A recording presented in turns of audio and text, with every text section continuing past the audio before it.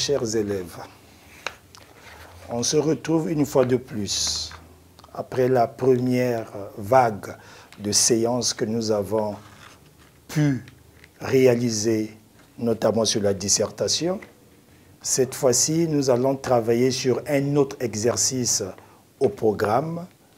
C'est celui qui porte euh, sur le commentaire littéraire sous-discipline, donc exercice littéraire, notamment le commentaire littéraire, qui est une sous-discipline du français. Et cette fois-ci, nous allons plus nous apaisantir sur euh, la classe de terminale A, parce que c'est un exercice spécifique aux élèves de terminale euh, A.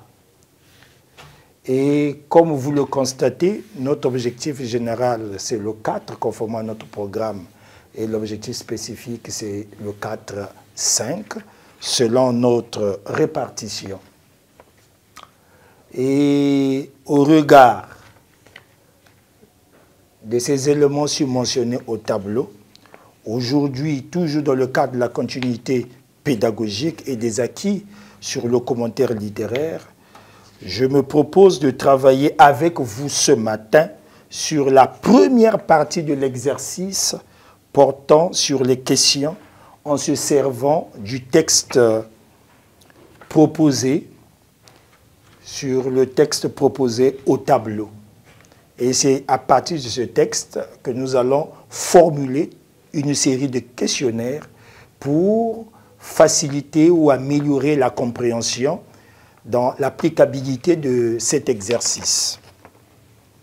Et en tenant compte de cet exercice, chaque élève à la fin de ce travail, doit être capable, à partir des questions proposées dans, dans un commentaire littéraire, de répondre correctement à toutes les questions posées à partir du sujet proposé. Donc le sujet ici, c'est le texte.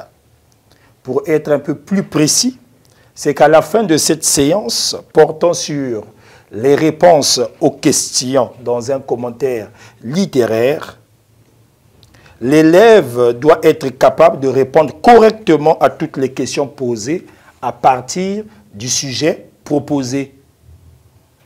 Et à partir de cela, nous allons d'abord nous apaisantir sur des questions des classes intermédiaires pour nous rappeler certaines notions. Ici, à partir de cet exercice, quelles sont les différentes parties d'un commentaire littéraire? Quelles sont les parties constitutives d'un commentaire littéraire? Nous savons très bien que le commentaire est constitué de deux parties essentielles. La première partie porte sur les questions pour permettre à l'élève de mieux comprendre, de mieux, mieux analyser le texte. Et la deuxième partie porte euh, notamment sur le travail d'écriture, plus précisément le commentaire composé, c'est-à-dire la rédaction globale du commentaire composé en fonction des sortes d'intérêts donnés. Et ici, quels sur quoi ou bien quels sont les éléments qui peuvent nous permettre de formuler les questions portant sur cet exercice? Ou bien sur quoi portent les questions dans un commentaire littéraire. Conformément à toutes les notions que vous avez déjà accumulées, que ce soit au premier trimestre ou au troisième trimestre des années antérieures, les questions dans un commentaire littéraire portent sur plusieurs aspects du texte, notamment la conjugaison, la grammaire, les figures de style, la versification, les champs lexicaux, le vocabulaire, et j'en passe, il y en a tellement. Nous savons très bien que le français est une discipline à multifacettes, donc toutes les questions nécessaires qui favorisent l'expression ou l'élaboration de la langue française peuvent être posées. L'essentiel que ces questions s'adaptent conformément au texte présenté à quoi finalement, à quoi renvoie finalement la partie question dans un commentaire littéraire? C'est-à-dire, quand on parle des questions dans un commentaire littéraire, quels sont les aspects qui concourent finalement à la rédaction d'un commentaire? Donc, dans le cadre du commentaire littéraire, la partie question permet de jauger, de tester, d'évaluer les acquis de l'élève sur la compréhension et sur tous les éléments qui concourent à la rédaction du commentaire composé. Donc cette partie est essentielle et nécessaire si l'on veut avoir des élèves capables de rédiger correctement leur deuxième partie, c'est-à-dire le, devoir sur le devoir sur le commentaire. Et après avoir fait ce tour d'horizon de cet exercice, nous allons passer à la lecture du texte, sans oublier qu'une bonne lecture favorise aussi une bonne compréhension. Un texte mal lu, la compréhension, euh, la compréhension posera également problème. Nous avons le texte au tableau, nous allons le lire.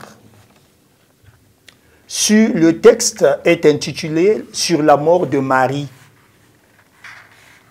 Le texte de ce matin porte sur la mort de Marie et nous allons le lire. Texte sur la mort de Marie. Comme on voit sur la branche au mois de mai la rose, en sa belle jeunesse, en sa première fleur rendre le ciel jaloux de sa vive couleur, quand l'aube de ses pleurs au point du jour l'arrose. La grâce dans sa feuille et l'amour se repose, embaumant les jardins et les arbres d'odeur.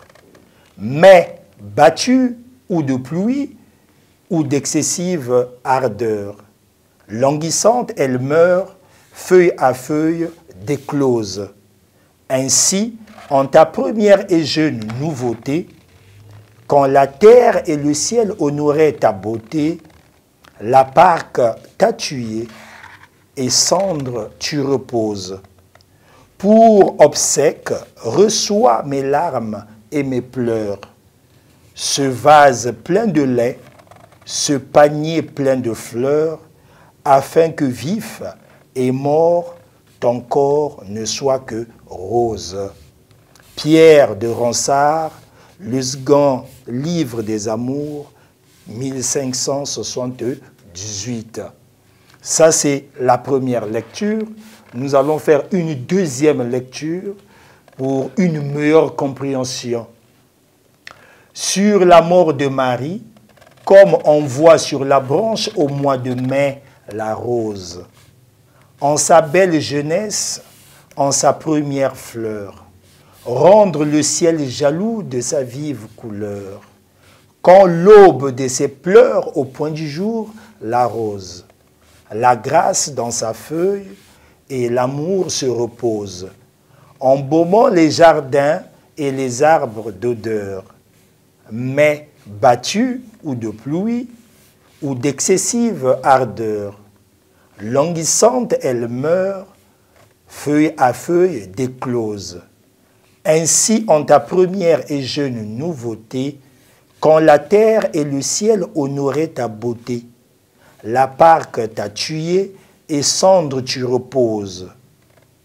Pour obsèque, reçois mes larmes et mes pleurs, ce vase plein de lait, ce panier plein de fleurs, afin que vif et mort ton corps ne soit que rose. Pierre de Ronsard, le second livre des amours, 1578. Dans ce texte, il peut aussi y avoir des expressions qui paraissent être, des expressions plutôt qui paraissent être ambiguës.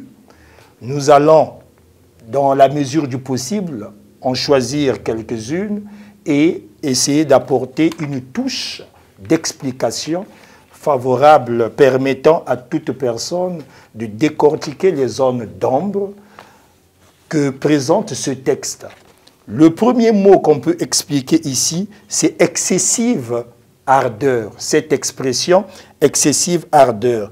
L'excessive ardeur renvoie à la chaleur. Et le, deuxième mot ici, c'est déclose. Feuille à feuille, déclose. Déclose renvoie à l'ouverture. Ce n'est pas forcément tomber, mais plutôt l'ouverture d'une fleur. Quand une fleur est encore à fleur d'âge, quand cette fleur s'ouvre pour exprimer sa beauté, c'est cette image qu'on appelle déclose. Nous avons ici la Pâque. La Pâque, puisque n'oubliez pas que le XVIe siècle tire sa source de la littérature, de la poésie grecque, en, en, majorité. Donc il y a cette expression qui renvoie à la divinité Donc ici, la Pâque renvoie, veut tout simplement dire déesse du destin, qui dans la mythologie grecque dévide et coupe le fil de la vie humaine. C'est cette expression dans l'imagerie grecque. Et l'expression pour obsèque, c'est pour obsèque, c'est fond mortuaire. Vif, c'est vivant. Donc ici, vous avez vif et mort. Nous avons vivant et mort. Donc l'expression vif renvoie à un être vivant. Voici les quelques expressions que nous avons jugées être complexes et que nous avons pris le soin d'expliquer pour permettre à tout élève de comprendre facilement le texte. Et en fonction de la lecture que nous venons de faire et des explications données sur les zones d'ombre, nous allons formuler une série de questions que nous allons répondre en fonction du texte présenté. Et la première question qu'on peut se poser ici, quelle est la forme poétique de ce texte? Quelle est la forme poétique de ce texte? On a souvent tendance à employer le mot nature et forme que cela ne vous embrouille. Quand on dit quelle est la nature et quelle est la forme, ces deux expressions, dans le cadre de l'évaluation du commentaire, sont des expressions synonymes. Donc, qu'on dise quelle est la nature ou quelle est la forme, ne soyez nullement perturbés, mais plutôt comprenez qu'on vous demande de donner cette réponse en tenant compte de la typographie du texte. Donc, quand je parle de typographie, la présentation du texte. Et ici, quand on regarde le texte, notre texte est présenté en strophes. S'il faut compter, donc nous avons quatre strophes. Vous avez constaté que c'est réparti, ce que nous appelons communément au niveau de l'étude du texte argumentatif, paragraphe. Mais au niveau du commentaire littéraire, le paragraphe est appelé strophe. Donc la strophe, c'est l'ensemble des vers exprimant une idée ou une vision de manière globale. Mais ne soyez pas aussi embrouillés parce qu'il y a des strophes groupées sans, sans sous-strophes. Ça aussi, c'est une forme de strophe. Mais ici, nous avons des strophes scindées en sous-strophes. Et ici, on nous demande de donner la forme poétique de ce texte. On va d'abord donner la forme poétique de ce texte parce qu'il y a une suite. On nous demande de justifier cette euh, réponse. Quand on regarde ce texte, ce texte donne, est présenté, nous donne quatre strophes, donc notamment deux quatrains et deux tercés. Et quand on fait la somme de ces vers, nous avons au total 14 vers. Plusieurs textes peuvent avoir, peuvent avoir 14 vers, mais il y a une particularité dans ce texte, c'est que dans les 14 vers, nous avons deux quatrains et deux tercés. Et à chaque fois que vous aurez cette image de deux quatrains et deux tercés, qui nous donne au total 14 vers, ce texte renvoie finalement à un sonnet, plus précisément sur le sous-point que vous avez étudié, appelé les poèmes à forme fixe. Donc ce sont des poèmes qui ont une dénomination, qui ont un nom s'il faut parler comme tout le monde, et les autres textes qui n'ont pas de nom, nous les classons dans la catégorie des poèmes classiques, des poèmes en vers libre et des textes en prose. Et ici, nous avons un poème à forme fixe, plus précisément un sonnet. Donc, ici, nous allons directement répondre aux questions. Réponse aux questions.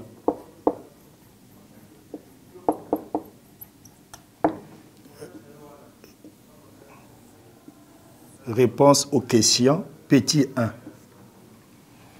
Quelle est la forme poétique Nous disons ce, ce texte ou ce poème, si vous voulez, vous êtes aussi libre. Tout dépend de la formulation de la question que vous aurez. Donc on peut dire ce poème ou ce texte, tout dépend de la formulation. Donc on crée une ouverture en fonction de la question, est composé, est composé, est composé de 14. Est composé, on va mettre le chiffre après l'écriture en lettres. Est composé de 14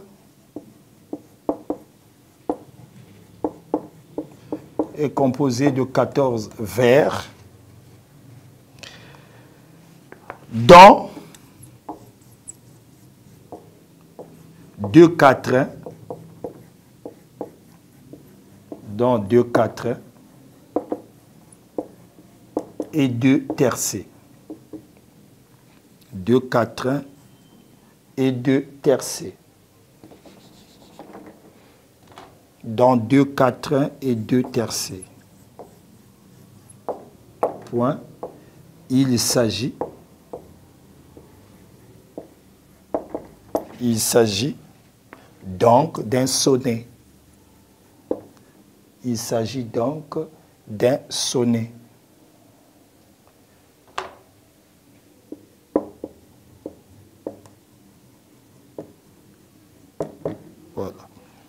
Nous venons ici de répondre à la première question, tout juste un rappel. Quand on dit quatrain, là on a dit quatrain et tercé, nous avons une strophe de quatre vers, une strophe de quatre vers, et là on a dit tercé, quatrain, une strophe de quatre vers, et là on a dit tercé, strophe de trois vers. Si on avait cinq, on devait avoir quintile et ainsi de suite. Deuxième question par rapport au texte étudier les rimes de la première strophe. Donc nous sommes à ce niveau. Étudier les rimes de la première strophe. Étudier les rimes de la première strophe. Étudier les rimes de la première strophe. Étudier les rimes de la première strophe. Ça sera notre question 2. Quand on vous parle de l'étude des rimes, on fait allusion à trois aspects essentiels. Donc nous avons dans cette étude la disposition, nous avons la qualité et nous avons le genre. Donc quand on parle de la disposition, comment se présentent les rimes? Quand on parle du genre, nous savons qu'il y en a deux. On a le genre féminin et le genre masculin. Donc ici, on parlera de rimes masculines et rimes féminines. Quand on parle de la qualité, on fait allusion à la richesse des rimes. Et au niveau des richesses, nous avons la rime pauvre, la rime suffisante et la rime riche. On peut même aller à très riche, tout dépend des mots ou des rimes que nous donnent euh, ces mots. Et ici, nous allons passer à la deuxième question. Nous mettons d'abord un sous-point Étude des rimes. Étude des rimes de la première strophe. Étude des rimes de la première strophe. Bien. La strophe, la première strophe, c'est le, le, le premier groupement de vers que nous avions au tableau. Mais quand on dit les rimes, on ne va pas étudier tout le vers. Nous allons prendre les mots qui clôturent, si vous voulez, qui terminent les vers. C'est à partir de ces mots que nous allons focaliser l'étude des rimes. Donc ici, nous avons au niveau du premier vers rose, au niveau du deuxième vers fleur, au niveau du troisième vers, couleur. Au niveau du quatrième vers, arrose. Voici les mots qui caractérisent les rimes ou l'étude des rimes dans cette strophe. Nous allons commencer par quoi? Nous allons commencer par la disposition. Donc on va, commencer par la disposition. Comment sont placées les rimes? Donc nous allons mettre le premier tiret. Disposition des rimes. Disposition des rimes. Ici, nous allons regarder comment sont disposées les rimes. Quand on parle de la disposition, on regarde la prononciation à la fin de ces mots à partir de chaque vers que nous présente la strophe. Ici, nous avons, donc nous allons rassembler les, les, les mots qui ont la même prononciation. Ici, nous avons rose, la rose. Ici aussi, nous avons la rose. L'élément commun entre les deux ici, c'est rose-rose. Et là, nous avons fleur, couleur. L'élément commun ici, au niveau de la prononciation, c'est leur, leur. Et nous allons donner une certaine numérotation où nous allons mettre des lettres pour donner cette image. À supposer ici nous avons rose, on peut prendre la lettre B, par exemple. Ici nous avons fleur, on met la lettre A. Là nous avons couleur, on met la lettre A. Pour des besoins de clarté, je vais un peu décaler ces lettres pour donner l'image réelle. Donc nous avons ici B, là nous avons A, ici nous avons A, là nous avons B. Nous venons ici de donner une image à chaque rime. Nous allons maintenant rassembler les éléments, exprimant la même sonorité à la fin. Nous, allons ramener les A entre les A et les B entre les B. Et présenter ici, nous nous rendons compte que les B ont englouti la lettre A. Cette présentation nous donne ce qu'on appelle les rimes embrassées. Donc, à cette question, nous dirons que les rimes, les rimes, les rimes sont embrassées. Les rimes sont embrassées.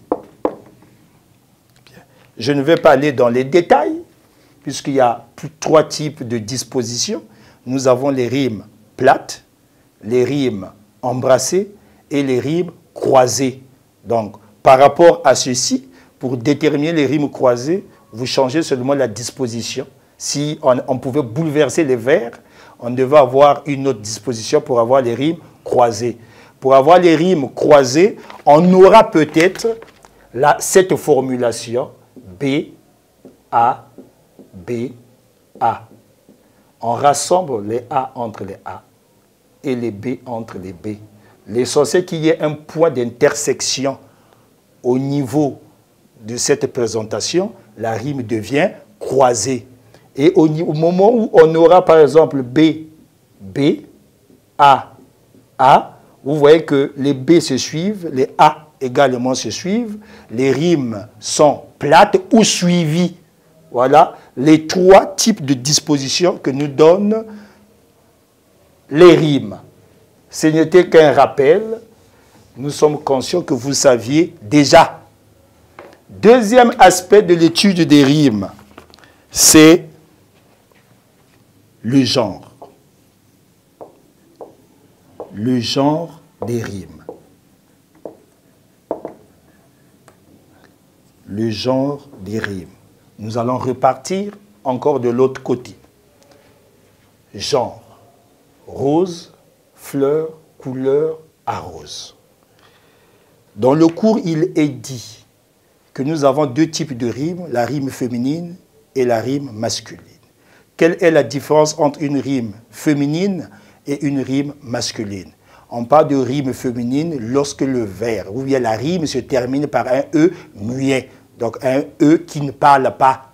Donc on peut avoir le E muet, on peut avoir ES, on peut avoir ENT, mais comme ces éléments ne se prononcent pas, la rime est dite féminine. Et l'opposé de ce que je viens de donner de manière globale donne en ce moment-là les rimes masculines. Et ici, quand on regarde, nous avons le E muet de rose, le E muet de rose ici. On peut même encadrer. Nous avons le E muet d'arrose. Le fait que nous avons le E muet à la fin de ces rimes, nous avons affaire ici à une rime féminine. Et ici, nous avons le R, le R à la fin, mais qui, ces rimes sont accentuées.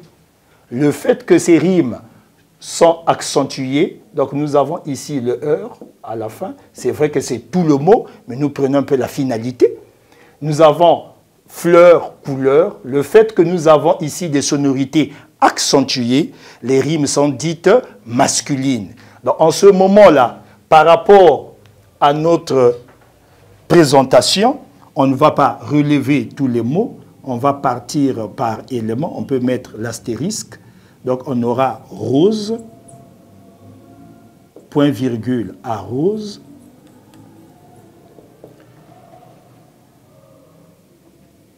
présente, présente des rimes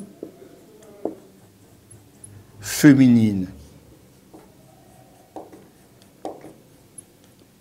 En quoi En E. Voilà. Nous avons ici les rimes féminines à partir du E muet. Et l'autre aspect, c'est couleur et fleur. On, ne va pas inverser pour éviter. Donc, on va commencer par fleur.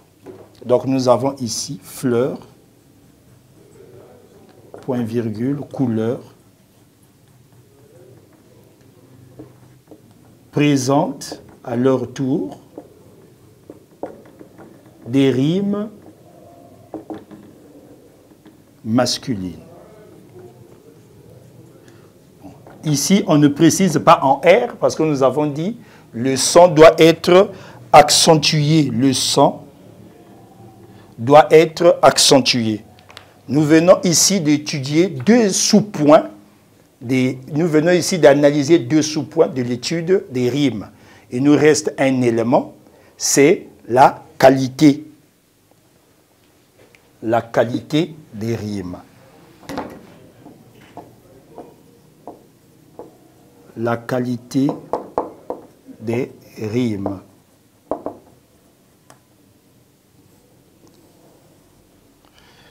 Nous revenons encore ici. Cet élément fait partie des éléments complexes parce que ça nécessite euh, une bonne maîtrise de, de ces différents aspects pour éviter de sombrer quand il s'agit de déterminer les rimes. Nous avons dit au départ que la syllabe, c'est une prononciation, plutôt la prononciation d'un mot à partir d'un seul son. Or, ici, quand on parle de la qualité des rimes, on ne peut pas forcément s'apaisantir sur le son, mais on va s'apaisantir sur le son des lettres que compose chaque mot. Ici, nous avons rose et arrose. Nous allons repérer dans ces deux mots les éléments communs, c'est-à-dire les mêmes éléments qu'on retrouve dans chaque mot. À partir de là, on peut même revenir ici. Nous allons prendre le premier élément. Nous avons rose et nous avons arrose. On nous demande d'étudier la qualité des rimes. On va rechercher dans ces deux mots les éléments communs. Quand on regarde cette composition, ici nous avons d'abord le A. Or ici nous avons rose, là nous avons arrose. Il y a deux éléments en plus à partir du mot arrose qu'on ne retrouve pas dans rose. Donc s'il faut supprimer, on pouvait déjà enlever le A. Il nous restera en ce moment-là que rose.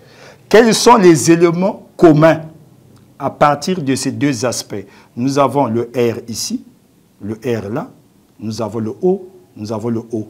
Et ici, le fait que ça se prononce Z et non rose, nous avons rose, nous avons un seul son.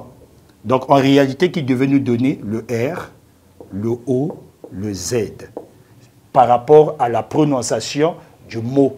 Et puisque nous avons trois éléments communs, R, R, O, O, Z, Z, en ce moment-là, on dit que la rime, la rime est riche. Et si on en avait par exemple que deux, on avait ici par exemple rose, et ici on avait rose. Je prends un mot au hasard. Rose. Et le fait qu'on n'aura que le R, R, O, O, puisqu'ici c'est Z, ici c'est ce, ce n'est plus le même son. Le fait que nous avons ces deux éléments communs, on dirait que la rime est suffisante. Si on n'avait que le R, le R, un seul élément commun, on devait dire que la rime est pauvre. Donc, dans ce cas précis, rose et arrose nous donnent une rime riche. Et on peut prendre aussi fleur, fleur, couleur. Ici, nous avons fleur, couleur. F ici, il n'y a pas de F. Ici, nous avons cou, ici, il n'y a rien. Qu'est-ce que nous avons en commun? C'est leur, leur. Quels sont les éléments? Nous avons le L, ok, le le, puisque le E est englouti, qui donne un seul son à E. Et ici, nous avons le R. Nous avons aussi trois sons communs. Donc, nous avons le L, nous avons le EU et nous avons le R, qui nous donne également une rime riche. Une rime riche. On vient de terminer avec l'étude des rimes de la première strophe. J'ai dit que ce n'est qu'un aspect, il y a d'autres éléments que vous pouvez vous-même aussi exploiter en fonction des notions déjà étudiées en classe. Autre question qu'on peut se poser, quelle est la tonalité dominante de ce texte? Justifiez votre réponse. Déjà, quelle est la tonalité? Dans le mot tonalité, nous avons un radical. Le radical, c'est temps. Nous avons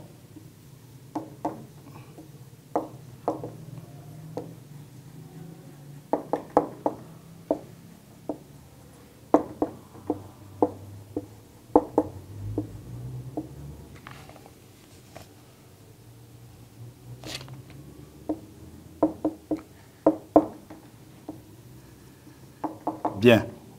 Je disais, nous avons ici le mot tonalité. Dans tonalité, nous avons un radical ici, c'est le temps. Pas le temps de l'heure, mais le temps que donne un texte en fonction de, de l'expressivité de l'auteur par rapport à son texte. Mais il y a une autre différence que nous allons établir à partir de, de cette question. Bon, un éclaircissement, bien sûr. Il y a une différence quand on vous dit donner la tonalité du texte et donner la tonalité dominante. Quand on vous dit donner la tonalité du texte, l'élève est libre de faire ressortir toutes les tonalités en fonction de sa sensibilité ou en fonction de l'imagerie du texte. Mais quand on dit la tonalité dominante, on voit quelle est la tonalité qui domine sur les autres tonalités dans le texte. Donc évitez de créer l'amalgame ou la confusion sur cette question. Quand on dit tonalité dominante, c'est une tonalité qui domine sur les autres. Quand on dit la tonalité, vous êtes libre. Il y a une certaine liberté au niveau de la réponse. Et comment allons-nous faire pour trouver cette tonalité? Il faut encore relire le texte, mais on ne va pas le relire pour une troisième fois, puisque nous l'avons déjà lu. Et tel que nous regardons ce, texte, nous nous rendons compte qu'il y a déjà un mot qui attire notre attention dès le titre du texte. C'est le mot mort. Sur la mort de Marie. Il y a déjà mort. L'image de mort nous donne en réalité deux aspects. Si on regarde notre cours sur les tonalités, nous avons deux aspects de tonalité qui se cachent derrière le, mot mort. Là, sans avoir lu le texte, nous savons déjà qu'il y a une tonalité pathétique ou une tonalité tragique. Maintenant, ce sont les éléments du texte qui vont nous aider à circonscrire cette tonalité. Nous avons ici mort. Quand on regarde le texte, on regarde notre première strophe, on constate ici, on n'évoque pas un aspect lié à la mort. On passe à la deuxième strophe. Quand on regarde cette deuxième strophe, cette strophe attire notre attention, notamment à partir du vers, déjà à partir du vers 1. Il y a un mot qui attire notre attention, euh, un verbe qui attire notre attention, c'est qu'on nous dit ici la grâce dans sa feuille et l'amour se repose. Nous savons que l'amour ne se repose pas. Pour que l'amour puisse se reposer, il faudrait que la personne puisse disparaître, puisse mourir. Nous avons ici déjà un aspect qui renvoie à la mort. À partir de là, est-ce que nous pouvons dire qu'il s'agit d'une tonalité pathétique? On ne peut pas encore confirmer. Il faut continuer à analyser, exploiter le texte. Embaumant les jardins et les arbres d'odeur. Qu'est-ce qui embaume? Est-ce que c'est la mort? On dira oui et non. Mais on dira plutôt à 60% non, parce que quelque part, si on nous parle de beauté, belle, tout ça, est-ce que c'est la mort? Est-ce que la mort peut embaumer le jardin? Ou bien c'est une femme qui brille, qui est jeune, qui a fleur d'âge, qui apporte un autre parfum au jardin? Ça, on le saura quand on va exploiter le texte. Donc au niveau de la deuxième partie. On arrive au niveau de notre vers 3 de la deuxième strophe. On nous dit mais battu. Il y a un verbe qui attire notre attention, c'est le verbe battre. Battre, c'est ce que nous appelons communément taper. Mais battu ou de pluie. Donc la personne a été battue. Mais il y a ou de pluie. C'est que quand la personne a été battue, la pluie renvoie à l'eau. L'eau, la pluie renvoie à l'eau. Si on, va chez, chez Sony, tout ce qui est eau renvoie à l'univers liquide. Le liquide. Or, si la personne a été battue, c'est que la personne a été agressée, blessée, et il y a eu quelque chose qui a coulé. Et ce qui a coulé est comparable à la pluie. Et ce qui coule quand on agresse quelqu'un, c'est le sang. Donc le fait que cette femme a été battue, c'est que cette femme saignait. Et on continue dit, ou d'excessive ardeur. C'est ce qu'on a déjà dit ici, excessive ardeur renvoie à la chaleur. Donc, ça veut dire que cette femme a été battue sévèrement. Or, la canicule, nous savons, pousse l'homme à transpirer quand il fait extrêmement chaud. Mais si cette personne a été battue avec une certaine férocité, une agressivité qui ne dit pas son nom, c'est que les coups reçus étaient tellement, étaient euh, ardus que cette femme a finalement saigné abondamment. Donc nous avons déjà ici le verbe battre. On peut aussi souligner pluie pour montrer l'intensité de cette battue. Mais dans ce vers, l'élément clé, c'est battu. On vient ici au vers 4 de notre deuxième strophe, on dit languissante. Même nous-mêmes à la maison, quand on nous agresse, quand l'enfant a beaucoup pleuré, même sa façon de pleurer, le rythme de, pleurer, de, ses pleurs varie. Mais à plus forte raison, quelqu'un qu'on a agressé sévèrement. Et puisqu'elle était dans un état de languissement, finalement, qu'est-ce qui va s'en suivre? Elle va mourir. Donc on va souligner ici, languissante, elle meurt. Donc après avoir été battue, on l'a laissée à la portée, abandonnée plutôt, et n'ayant pas de soutien, cette battue va se transformer finalement en décès. Et à partir de ce vers, on peut déjà comprendre qu'il y a eu sang. Ce sang est exprimé par le mot pluie pour démontrer l'abondance du sang qui a coulé. Avant qu'on ne continue, on peut déjà regarder cet aspect. Or, dans le coup, on vous a dit que la tonalité pathétique suscite la souffrance chez le spectateur. Mais pour qu'il y ait tonalité tragique, il faut qu'il y ait effusion de sang. Le fait qu'il y a déjà effusion de sang à ce niveau, on peut déjà comprendre que l'aspect de la mort ici, avec l'expression battue qui renvoie à pluie, la tonalité n'est plus pathétique, mais la tonalité devient tragique. Et on peut poursuivre avec d'autres éléments. Nous avons aussi la part que. Voilà. Donc, agressée, finalement, elle a été tuée. Nous avons cet élément. On a aussi cendre, tu reposes. Et ici, nous avons pour obsèque, on peut même prendre tout le vers, mais on va souligner quelques expressions. Pour obsèque, larmes, pleure. Et nous avons ici à la fin mort. Voilà. Et ce vers, c'est ce qu'on appelle chute. Donc euh, le vers qui clôture ou qui termine le poème est appelé chute. Et nous nous rendons compte, d'après la vision de Ronsard, il commence par mort, il clôture son poème par mort, c'est pour démontrer l'aspect tragique de cet acte. Donc ici, on dira, la tonalité dominante de ce texte est tragique. Voilà. On vient ici de donner la tonalité, mais il y a une suite. On nous demande de justifier. Si on avait seulement dit donner la tonalité, on s'arrêtait là. Mais quand on dit justifier votre réponse, il faut rechercher dans le texte les aspects qui, démontrent qu'il s'agit d'une tonalité tragique.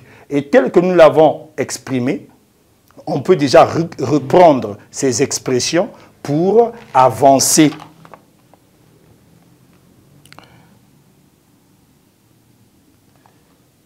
Point, euh, au lieu de mettre le point, on continue. Car nous trouvons car nous trouvons, puisque c'est une phrase, nous allons retirer les deux points, car nous trouvons des expressions, nous trouvons des expressions comme, ce ne sont pas nos expressions, il faut toujours les mettre entre guillemets. Nous avons des expressions comme battu, battu.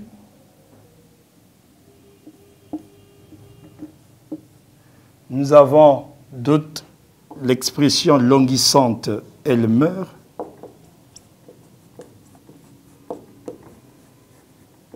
Languissante, elle meurt. Nous avons la parque t'a tué.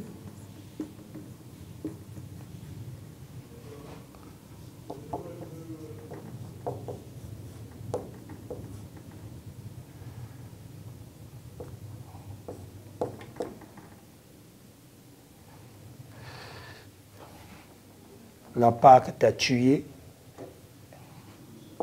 et cendre, et cendre, tu reposes. Et cendre, tu reposes.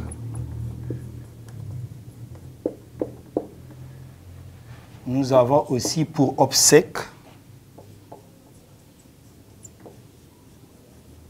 pour obsèque, virgule, on va seulement prendre quelques expressions. L'arbre pleure. L'arme pleure. Nous avons aussi mort.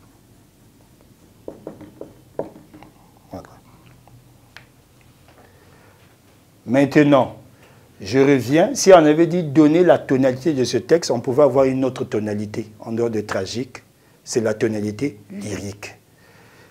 C'est vrai que pour tous, nous avons souvent focalisé la tonalité lyrique sur le jeu, le moi et autres, mais il y a parfois des tonalités exprimées de manière implicite également dans le texte. Et quand on regarde ce texte, nous avons quelques éléments de la première personne, mais, mais, qui démontrent qu'il y a aussi le lyrisme. Mais en dehors de cela, il y a aussi l'expression des sentiments de l'auteur, exprimés par Belle Jeunesse, Fleurs et autres, pour démontrer la beauté de la femme. Nous venons ici de répondre à la troisième question. Nous allons prendre la quatrième question. Donner le champ lexical, donner le champ lexical de la mort et celui de la beauté. Donner le champ lexical de la mort et celui de la beauté. Donc, attention, ici c'était une justification en fonction de la tonalité. C'est différent du champ lexical. Le champ lexical, ça donnera pratiquement la même image, mais les questions ne se ressemblent pas. Et le champ lexical, c'est repéré par chaque champ lexical les éléments ou les expressions qui expliquent l'aspect global de ce champ. Donc ici, nous allons répondre à la question 4. Le champ lexical. Le champ lexical. 4. On nous demande de dresser le champ lexical. De dresser le champ lexical. Dressant le champ lexical. On nous a demandé, on nous a donné deux champs lexicaux. Le champ lexical de deux points. Premier tiret, la mort. Premier tiret, la mort. Quels sont les aspects de la mort? Nous avons déjà un avantage, c'est que lorsque nous avons répondu à la tonalité tragique, nous avons déjà plusieurs éléments qui expriment cela. Donc au lieu de, traîner, on va tout juste les reproduire, mais on ne va pas tout prendre, on va prendre ce qui est essentiel. On peut vous demander deux ou trois mots. On ne va pas faire tout le texte. Donc nous prenons tel que le mot larme, nous avons meurt,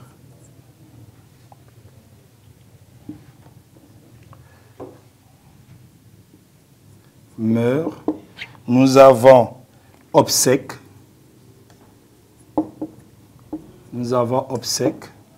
Nous avons pleurs. Nous avons la parque tatuée. La parque tatuée. Nous avons cendre, tu reposes. cendre, tu reposes. Et nous avons mort à la fin du vers. Nous venons ici de repérer quelques éléments du champ lexical de la mort. Le deuxième champ, c'est la beauté. Et la question qu'on peut se poser, la beauté de quel individu? Quand on regarde le poème, on nous parle de la beauté de Marie. Donc nous allons recenser les éléments qui expriment la beauté. Donc déjà le mot beauté, il y a un qualificatif ici au tableau dans la première strophe. Quand on regarde bien, c'est c'est belle. Déjà le mot beauté ici renvoie à belle. En dehors de belle, nous avons encore quoi? On nous dit rendre le ciel jaloux de sa vive couleur. Donc elle avait une bonne couleur de peau, peut-être. Mais nous avons encore quoi? Au vers euh, strophe 3. Voilà. On dit euh, jeune nouveauté. Jeune nouveauté. On continue toujours au vers, euh, plutôt vers 1 de la troisième strophe vers 2 de la troisième strophe, nous avons ta beauté. Et voilà, belle, nous avons aussi première fleur. On peut même dire rose, parce que la beauté est comparable à une rose. Nous venons ici d'énumérer les éléments du champ lexical de la beauté. Nous avons ici, on peut prendre rose, on peut prendre belle, on peut prendre première fleur,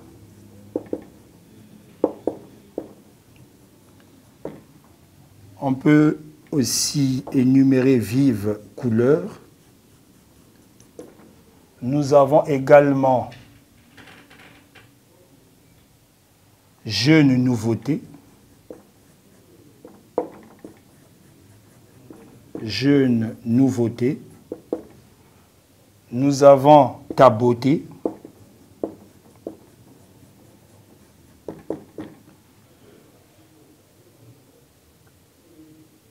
Voilà, pour ne citer que ces quelques cas. Nous venons ici d'étudier, de faire l'étude du champ lexical en fonction des deux thèmes qu'on nous a attribués. Nous allons prendre la cinquième question, celle qui consiste, on nous demande de relever dans le texte une personnification, une antithèse et une métaphore. Relevant dans le texte, on a fini avec le 4, relevant dans le texte.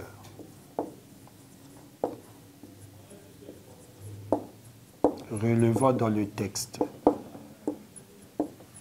Une personnification. Une, une personnification.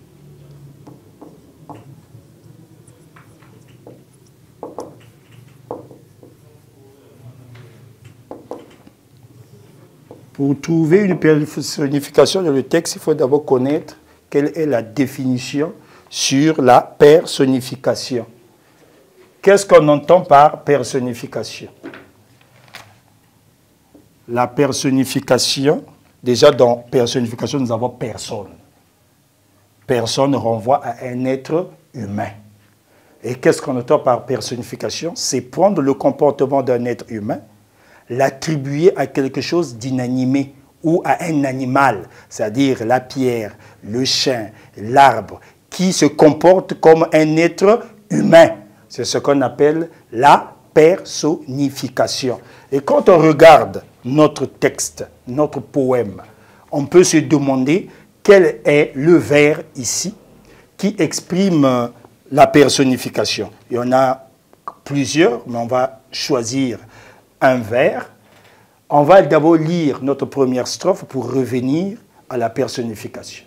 On dit comme on voit sur la branche au mois de mai la rose, en sa belle jeunesse, en sa première fleur, rendre le ciel jaloux de sa vive couleur, rendre le ciel jaloux. Or, le ciel ne peut pas être jaloux. La jalousie, c'est une caractéristique des humains. Donc ici, nous avons déjà le ciel que l'on voit. Mais est-ce que le ciel peut jalouser un être humain? Non, c'est toujours un autre humain qui peut jalouser un autre humain. À partir de là, cette partie déjà, ou bien ce vers, exprime clairement ce qu'on appelle la personnification. Ou encore, on peut regarder, voilà notre troisième strophe, vers 2 de notre troisième strophe. On dit quand la terre et le ciel honoraient ta beauté.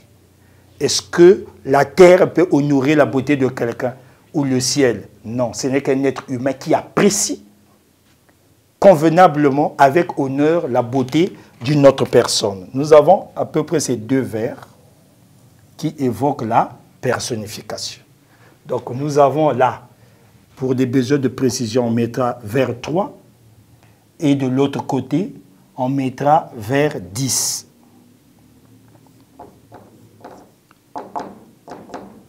Vers 10, nous avons rendre, rendre le ciel jaloux. On peut même s'arrêter là parce que c'est la partie la plus, la plus importante du vers. Rendre le ciel jaloux. De l'autre côté, nous avons quand la terre, la terre et le ciel honoraient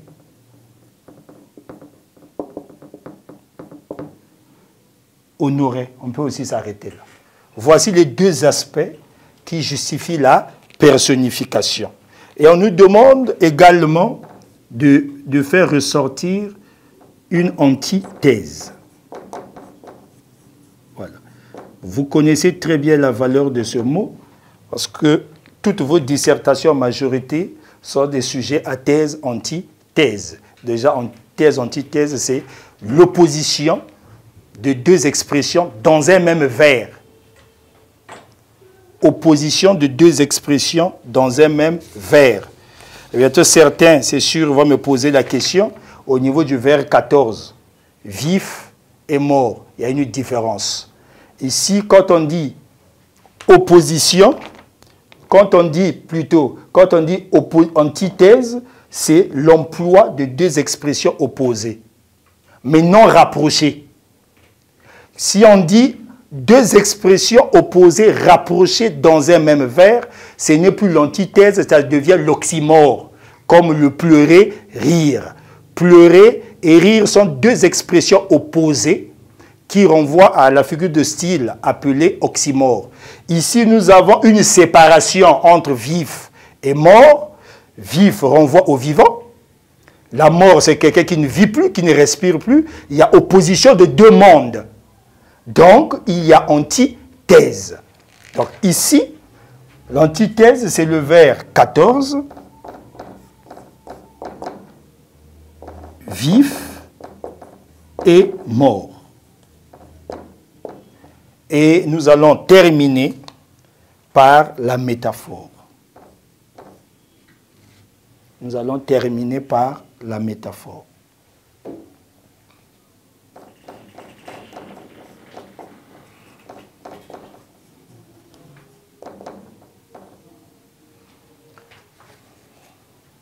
Nous allons terminer par la métaphore.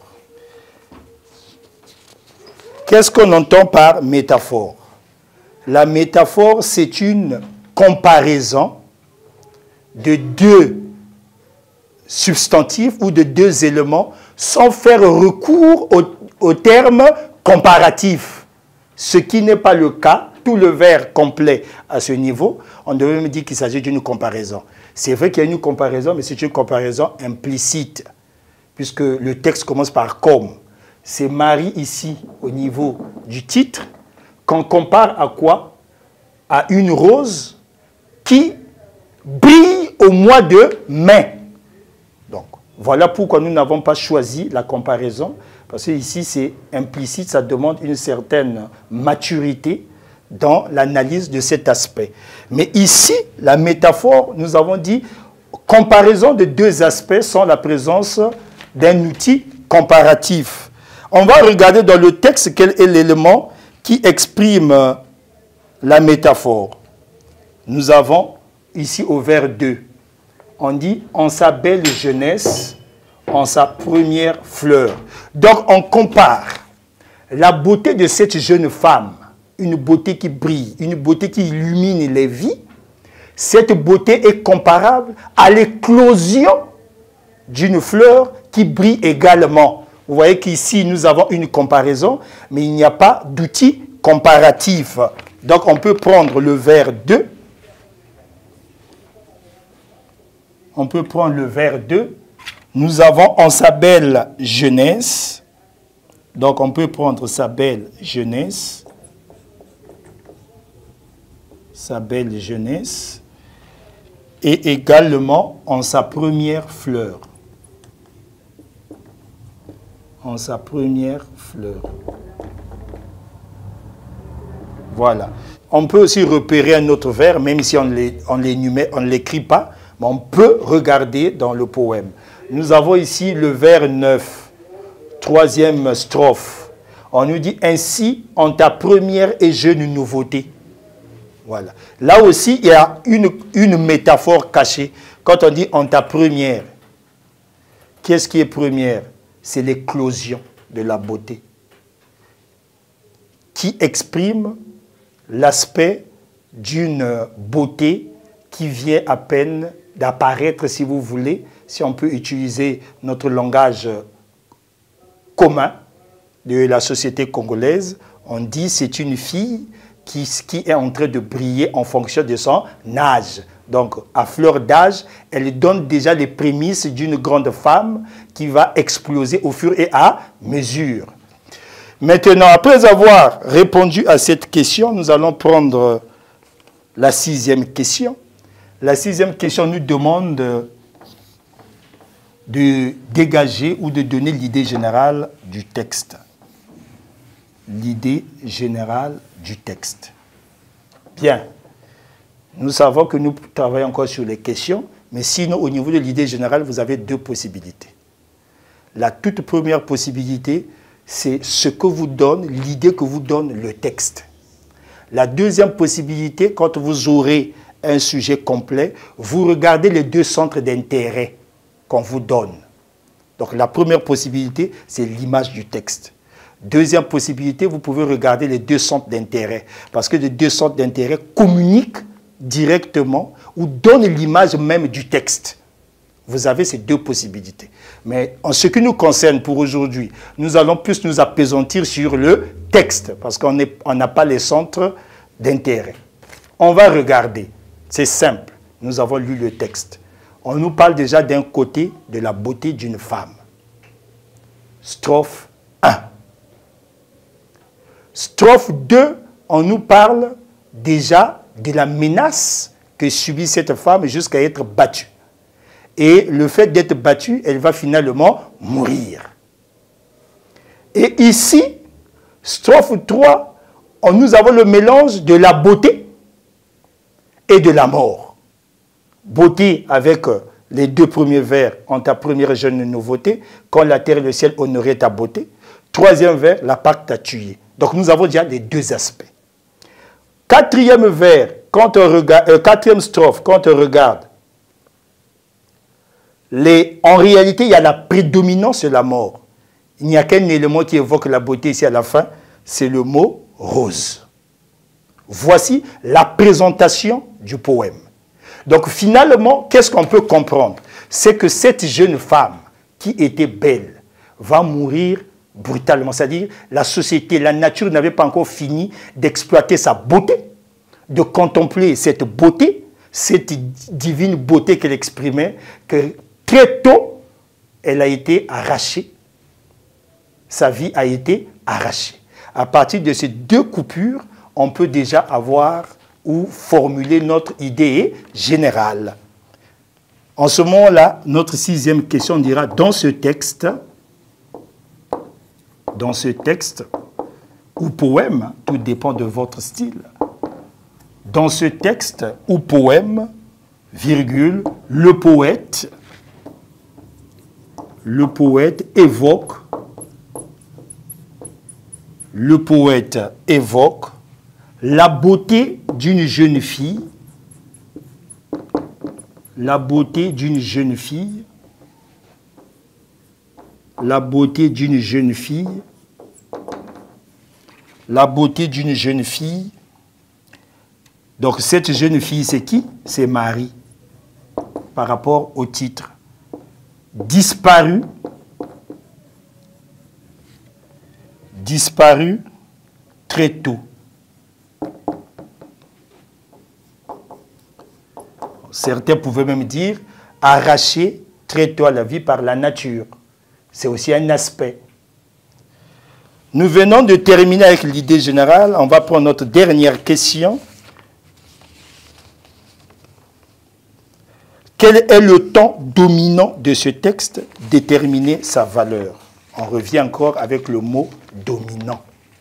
Quel est le temps dominant? C'est-à-dire quel est le temps le plus employé dans le poème? Si on avait dit déterminer les temps de ce poème, en ce moment-là, vous devez faire ressortir tous les temps que vous trouviez présent, imparfait, ainsi de suite. Mais ici, on a dit le temps dominant. Quand on regarde notre texte, quel est le temps qui domine? Nous avons ici voix, présent de l'indicatif. Vers 2, on n'a rien. Vers 3, on n'a rien. Vers 4, arrose, présent de l'indicatif. Vers 5, se repose, présent. Vers 6, on n'a rien. Vers 7, ici c'est un participe euh, passé. On passe vers 8, nous avons meurt, présent. Ici, vers 9, on n'a rien. Vers 10, nous avons honoré l'imparfait. Ici, nous avons le passé composé. Là, nous avons le présent. Pour obsèque reçoit présent. Ce vase plein de lait, ceci vif et mort, que ton corps soit, ne soit que rose. Nous avons aussi le présent. Donc quand on regarde les verbes, le temps le plus employé par rapport aux verbes, il s'agit bel et bien du présent, de l'indicatif. Donc on répondra ici le temps dominant, le temps dominant, le temps dominant dans ce texte, le temps dominant dans ce texte est le présent, est le présent de l'indicatif.